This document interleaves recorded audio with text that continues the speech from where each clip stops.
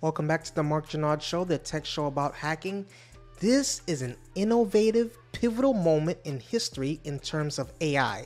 I'm going to cover in this video the AI that it, that learned how to make computer chips. So this deserves to be talked about. So without further ado, let's get right into it. We're going dark. It was only a matter of time before machine learning transformed the world of chip design.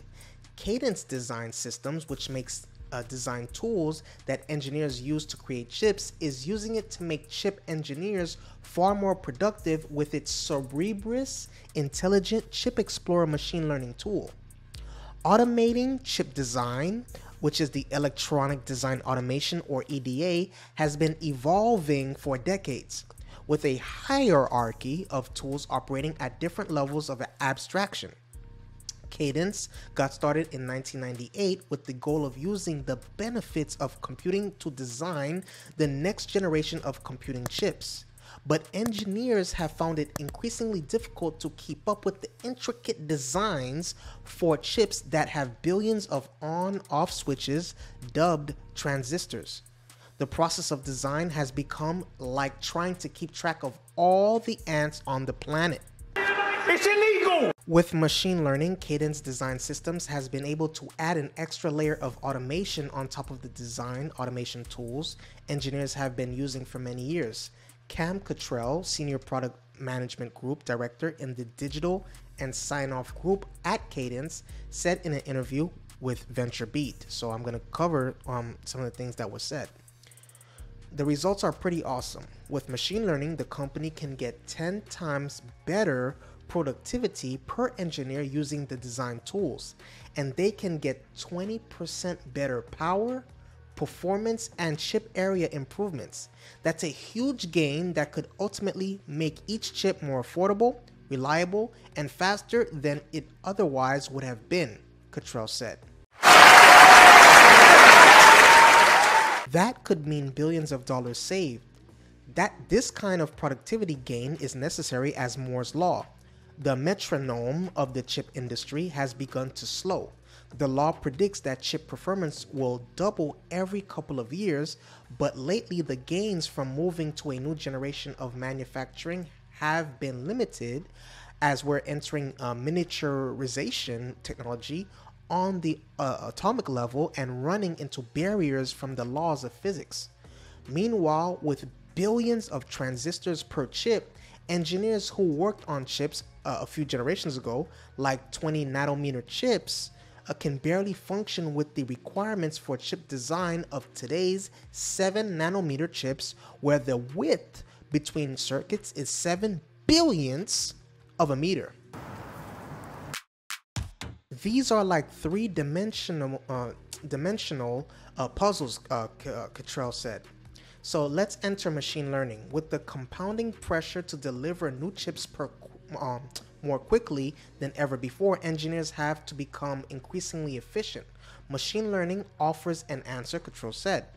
Just as today's intelligent consumer devices provide users with information at their fingertips, machine learning automates chip design processes so engineers can complete projects intelligently, faster with the fewer mistakes. Uh, so, machine learning also creates a level engineering playing field.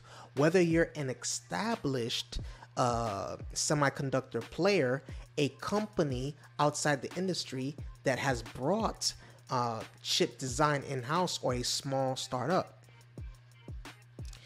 There have been some refinements over the time for chip design, but it's been basically the same way, and so it's been getting more and more complicated for an engineer to take a chip through uh, to completion, Cottrell said.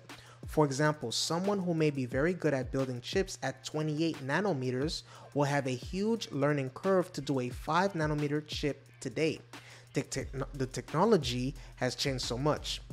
Cerebrus doesn't replace the flow of tools and the way humans interact with the tools, but it works as a driver's assistant, Cottrell said.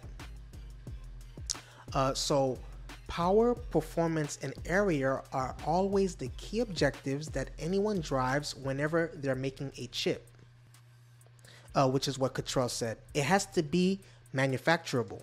But after that, there's a squeeze on power and performance and area. And so uh, we use reinforcement learning in our Cerebrus tool. It controls the tool and does experimentation for the engineer in order to help, in order to find the best solution. So let's talk about a helper. Machine learning isn't threatening the jobs of chip engineers, who are more sought after than ever, Cottrell said. Rather than replacing them, machine learning has become an engineer's uh, helper, reducing the learning ramp up time and handling many traditional engineering tasks automatically. Nice. Cere- Cerebrus uses unique machine learning technology to drive the Cadence RTL to sign off implementation flow. Here, the engineer designs on a level of abstraction where he or she can understand the logical flow of electrons through a chip.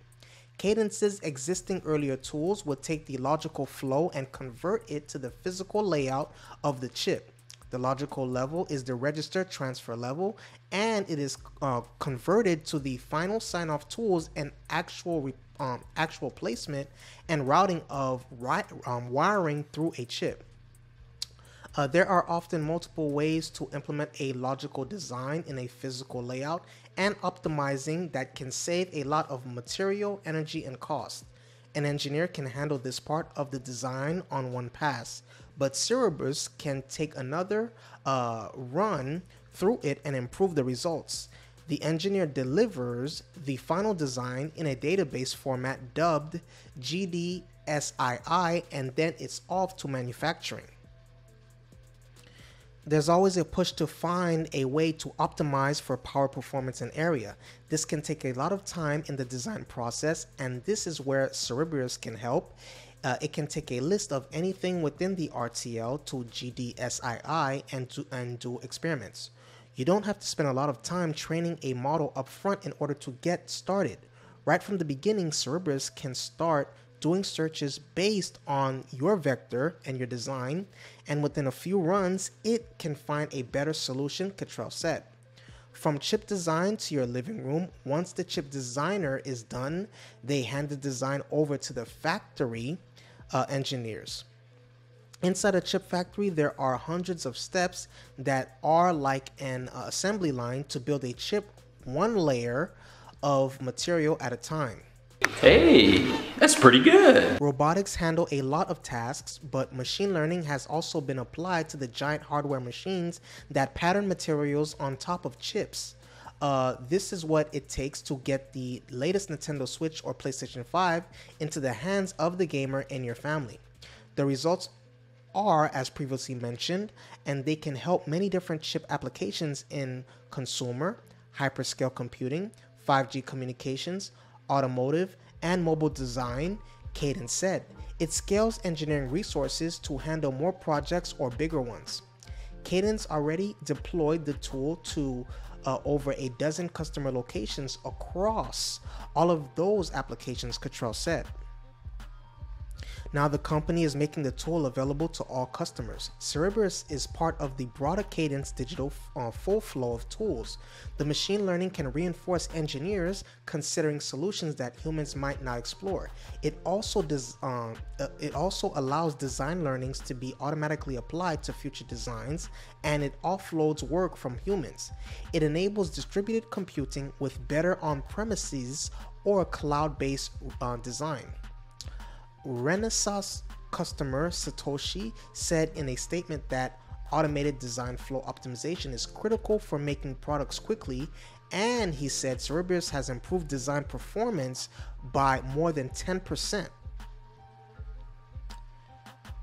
So his company is adopting the technology for its latest projects. Samsung VP of Design Technology uh, Sang Yoon Kim said Samsung uh, Foundry used the Cerebrus tool and saw an 8% power reduction in its chip and 50% better timing, which improved overall in, uh, performance.